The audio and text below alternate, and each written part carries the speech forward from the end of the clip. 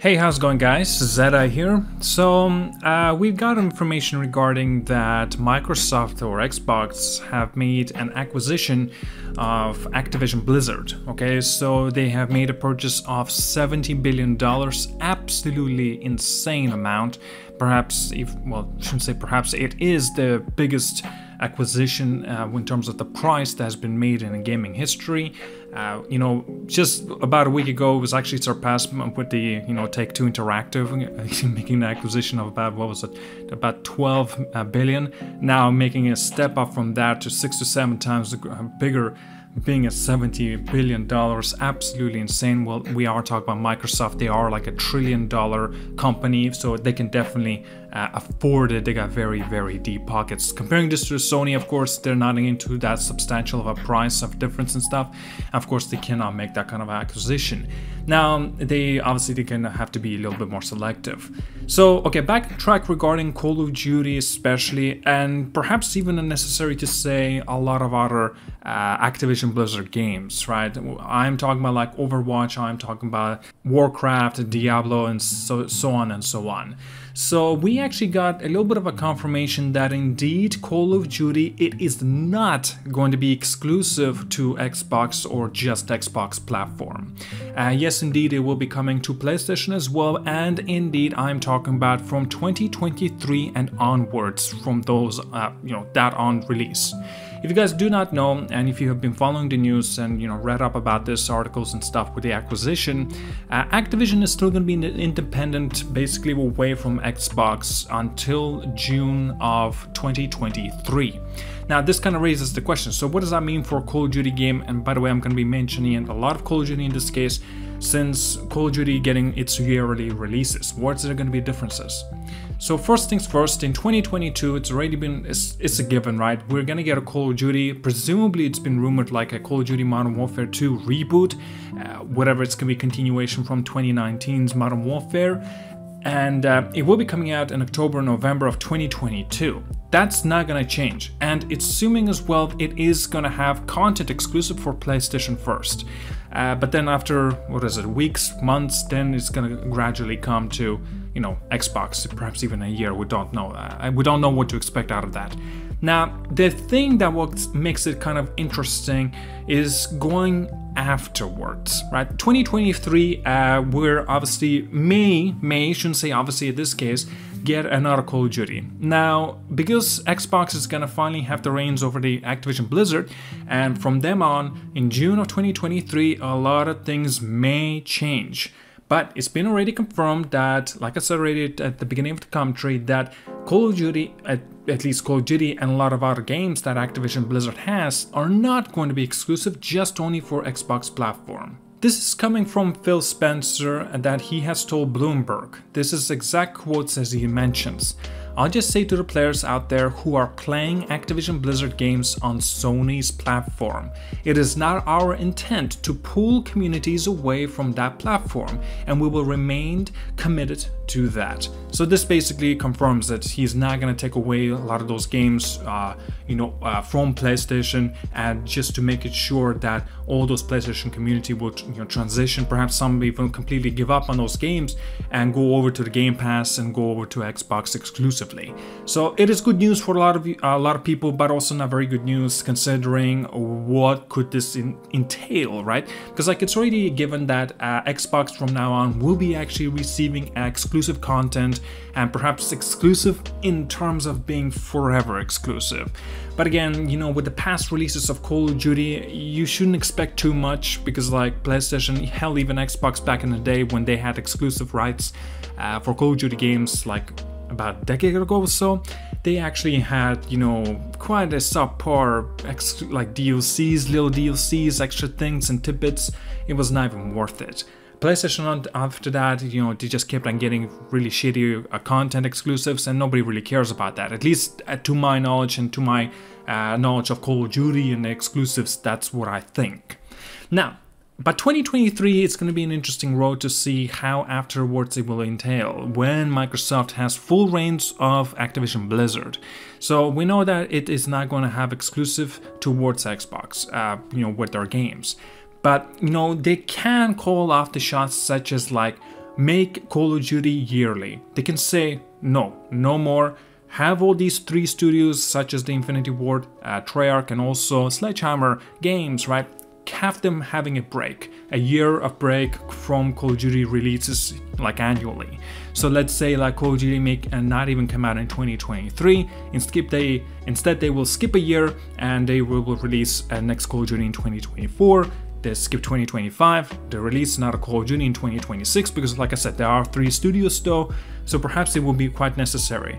And since Call of Duty players, and there's a very big fan base for it, because like if you guys been paying attention to the chart bar, um, to the chart, right, like in terms of the sales of Call of Duty, how they perform, it is always does a phenomenal job in terms of like, like a lot of people, even though they're arguing saying Call of Duty shit every year, well, you're gonna have to look at the, you know, the amount of, you know, how much they make. So it's like there are still a lot of community and dedicated fans that are just still gonna be buying the Call of Duty no matter what because just because of the IP.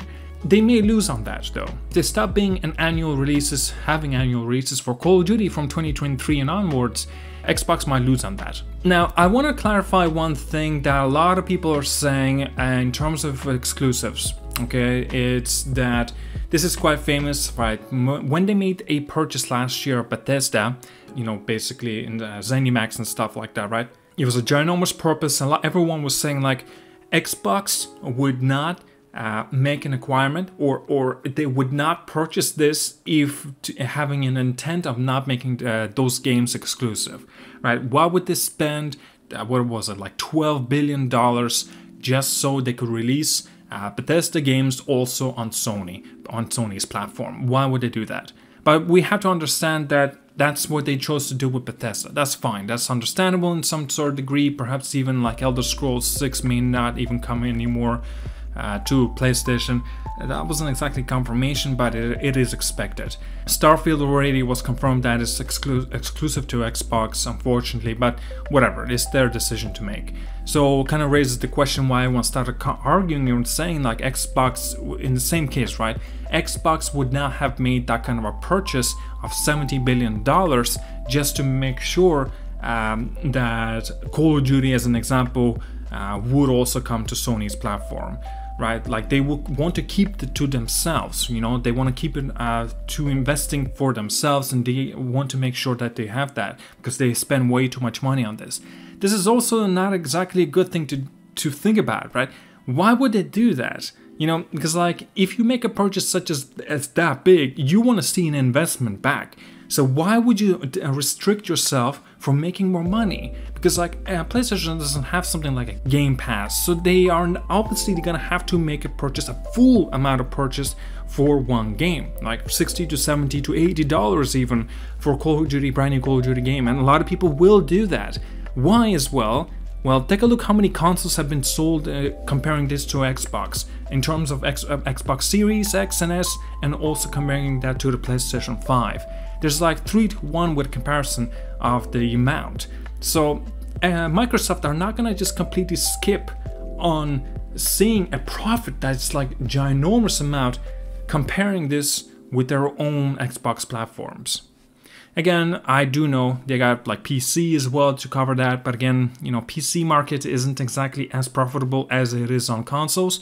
Since on PC, you know, there's a lot of jailbreaking, there's a lot of things that pirating going on, you know, a lot of people just don't subscribe to the Game Pass. There's a lot of things, iffy things going on there too.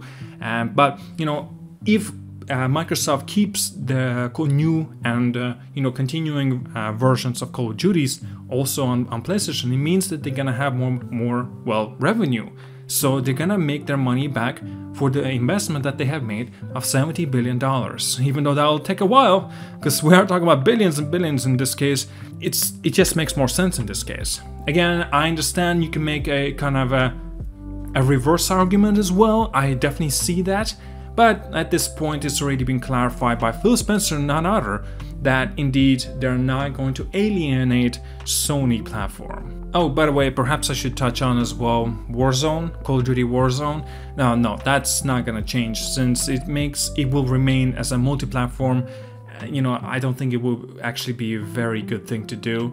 Uh, it's the same thing with uh, Elder Scrolls Online, right? That's actually still staying on on PlayStation uh, even though it's been acquired by uh, Microsoft, you know, with the Bethesda and ZeniMax and stuff like that. Okay, now I want to get into the second part of this argument, not really argument, but a little bit of a conversation discussion. So we are aware of Bobby Kotick, like he's an Activision's longtime CEO. Since Phil Spencer is actually going to be taking the reins over as a CEO, it is actually expected that Bobby Kotick will be, well, leaving by the time that, you know, Microsoft finalizes with this in the June of 2023. So he's basically got a little bit longer than a year to go uh, to be a CEO of Activision, and that's actually fantastic news because like him receiving those shares and revenue is just ridiculous. Like the guy needs to get fucking fired. But instead he's getting a privilege of just simply leaving. Oh man, but whatever.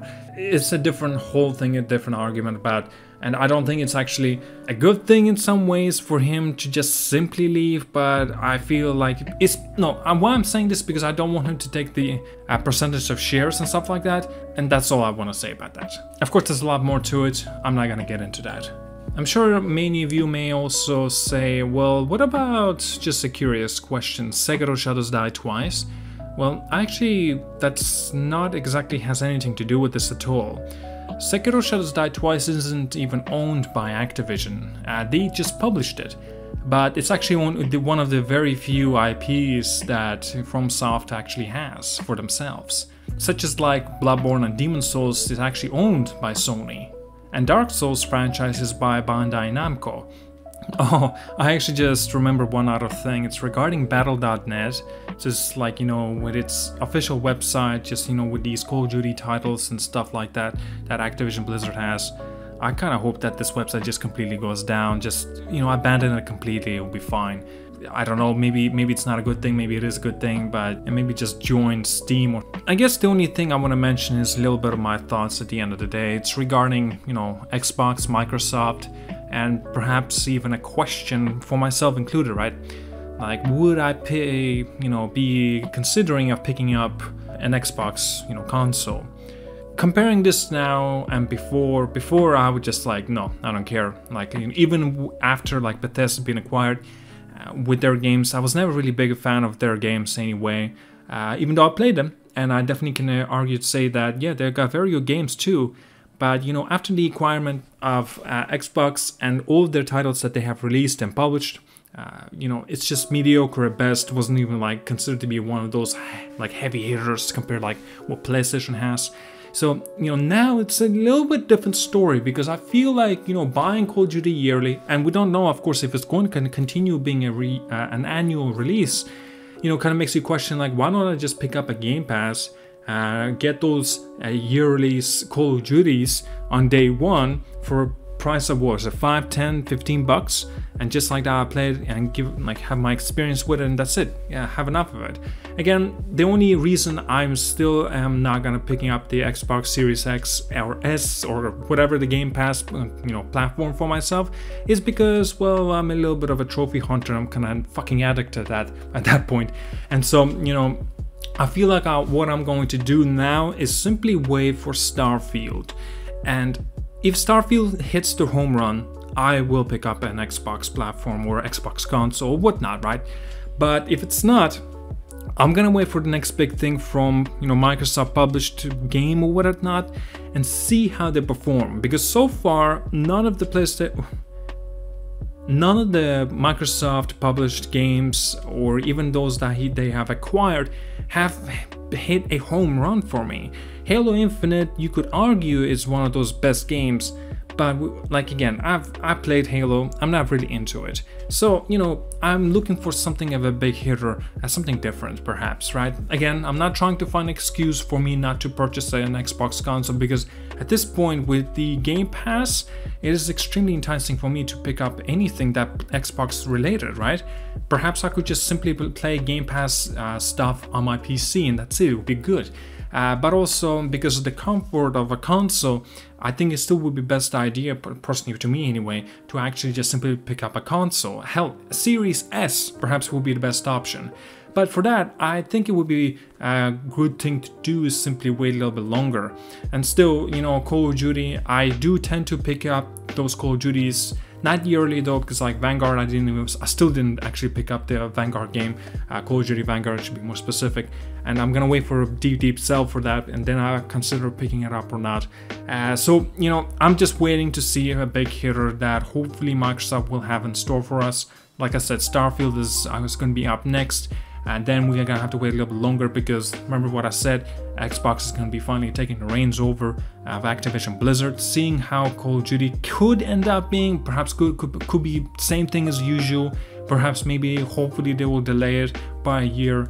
And it actually will be quite necessary because Call of Duty has just been going down a hill and literally actually proves it in fact right I mean Vanguard is doing in terms of the sales they're actually doing worse than what was it Modern Warfare 2019 and including Cold War and so you know kind of actually it's a good thing because actually it's a little bit of a wake-up call for Activision. But now, since they've been acquired, I don't, I don't think they're gonna have to care about that any, any longer. Since, well, Microsoft is, are the ones that publishing it.